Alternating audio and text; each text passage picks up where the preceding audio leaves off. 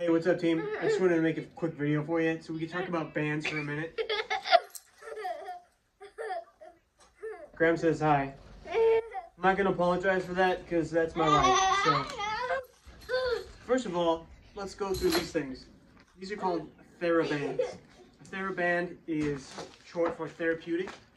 They're usually lighter in weight. This one is probably four to five pounds of resistance. They usually come in sets of three to four, but you can buy, you know, entire 100 foot rolls if you, you know, run a practice. This is what we used in the uh, clinical setting when I did neuropathy class and um, rehab, post rehab with the senior citizens. But these are also great if you practice yoga or you want to get just a little bit of resistance without putting on too much strain on your joints or muscles. Know, put wrap that around your foot and do a couple hundred, oh yeah, a couple hundred kickbacks. You're gonna be feeling it. Next band, let's just go through these real quick, and then we'll we'll talk about the use. You can buy a band like this. These are big, heavy-duty rubber bands. I call them uh, exercise loops or whatnot.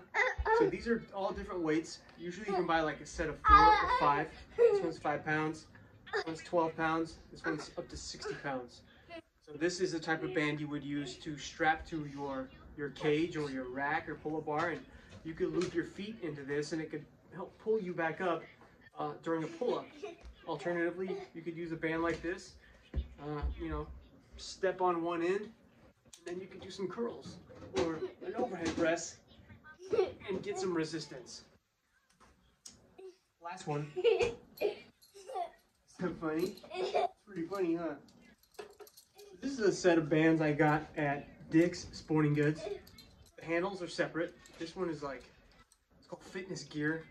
So I bought the handles by themselves, and then we've got 30, 20, 40. There's also a 10 pound band. And these things are pretty cool because you can, um, as you can see, you can loop multiple bands onto your handles and then create your own custom weight. These things are effective if you have a home gym and you do not have a cable machine. For example, I could loop this around my cage and I could stand here and do behind the head overhead tricep extensions or you can do a pull, a row, or even a sort of a lat pull down. You can do a lot of things besides just bicep curls with bands. Okay, so what will we use this for?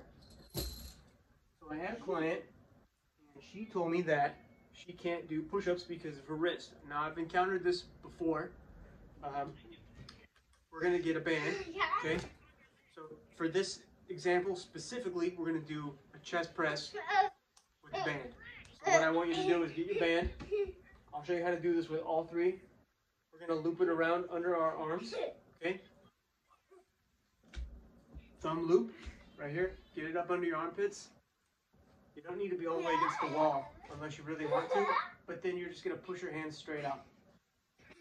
This is gonna take some of the pressure off the wrist.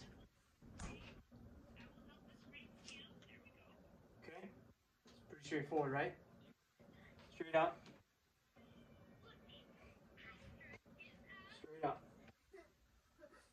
Uh, depending on the strength of the band, it's totally dependent on you and where you're at.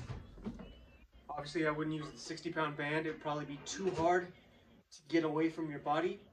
And the snapback, if you lost your grip, would be unbearable. So you have to be careful. These things can snap, um, especially if you leave them outside.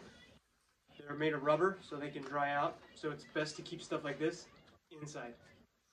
Now, if you are really concerned about your wrist, I might even do one at a time. What I would do is I'm just going to put this on the floor and stand on one end. I'm just going to angle this down so you can see that.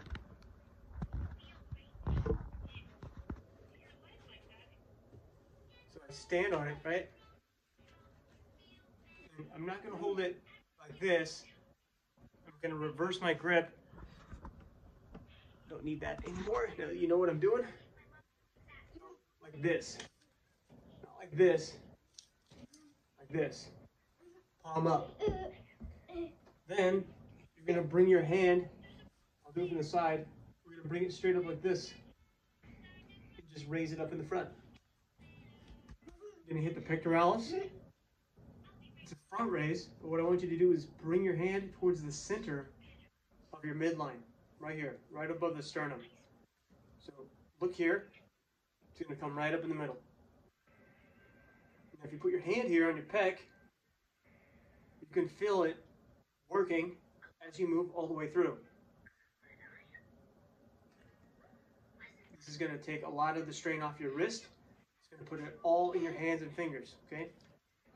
Now, if you want to get more upper chest, okay, upper pec, it's all one slab, but there's a striation here. So if you want to get this part, you want to bring your hand above your clavicle. Clavicle is the collarbone.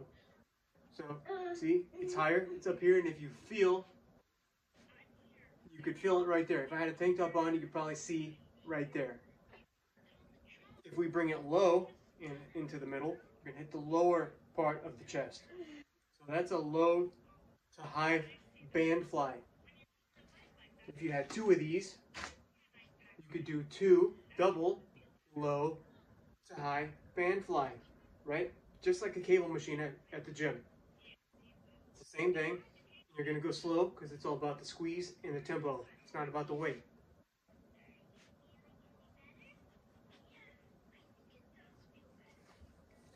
If you have one of these, this thing can act double as a handle. So, same thing. grab it just like that. And step on it. I've got this in my hand. It's easy to grab like this. Same thing. Low to high. Cross the midline. Cross the midline. Pause at the top. Straight up. That's okay, two. Side.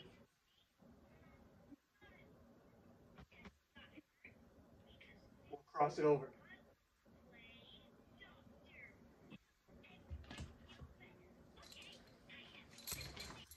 Now this thing, the handles, you could actually stand right in the middle of your band. I'll show you that one. Just stand right on it. Make sure these are even, okay? Even Stevens. Remember that show? Even Stevens? Okay, so you're here. You're gonna bring them up right in the middle. Ooh, that's too heavy. That? 50 pounds. Okay, so pretend it's it's a lot lighter. In theory, it's the same thing. bring it up.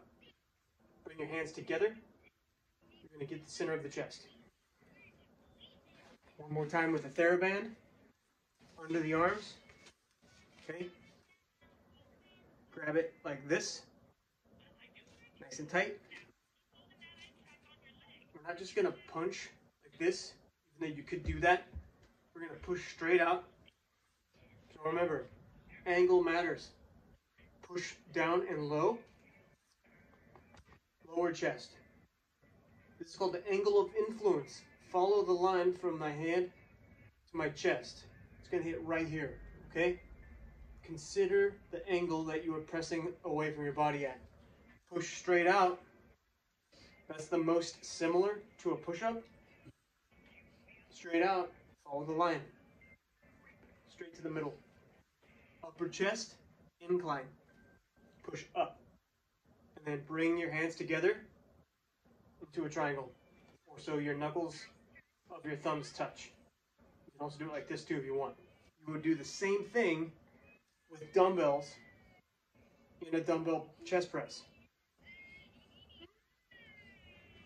From the side. So low, middle, high. Upper chest, center chest, lower chest. Do a fly too if you want. Flies are better with dumbbells though, let's just be honest. Alright, well, there's a little tutorial on bands. You can buy those online, get them on Amazon. They'll ship them to your house. It'll be there probably in a couple hours. Uh, you can buy the big bands. I got those on Amazon. and um, the fitness gear with the with the handles and the loop. The this one, this one, Sporting Goods. This one, Amazon. This one.